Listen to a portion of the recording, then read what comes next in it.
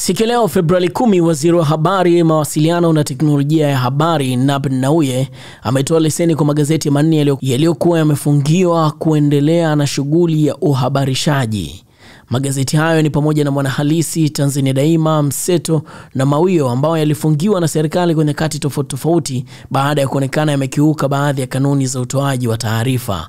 Hayo yamefanyika wakati Waziri Nape alipokuwa na kikao na wahariri wa vyombo vya habari mahali ambapo ni TCRA.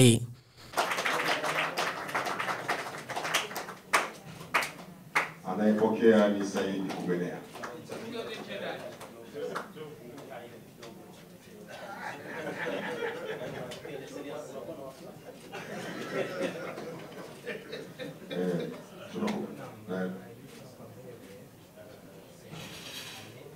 Kubenea ukumbuke mfano wa jiwe.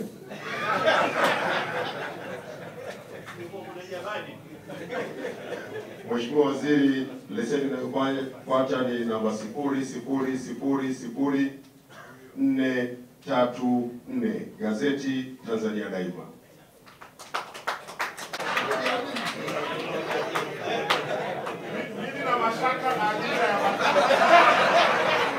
Anayepokea ni Martin Malela.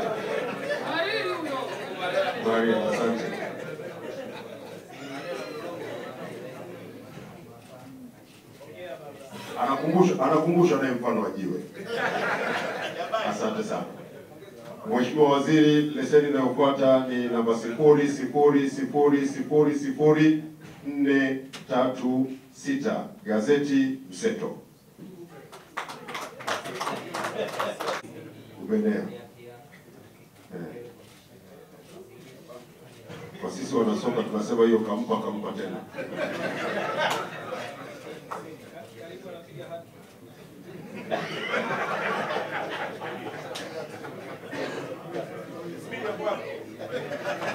Mheshimiwa Waziri, leseni inayofuata ni namba sifuri sifuri sifuri sifuri sifuri nne tatu saba gazeti Mawio.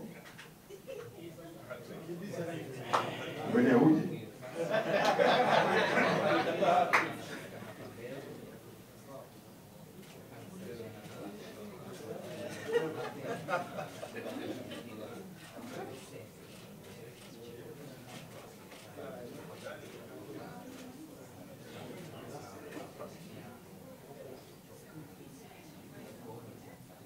alipokea ni Erasto Masaru. Jina tulikuwa nalo hapa ni tofauti na aliyekuja. Asante sana, tunakushukuru na unakumbushwa mfano wa jiwe.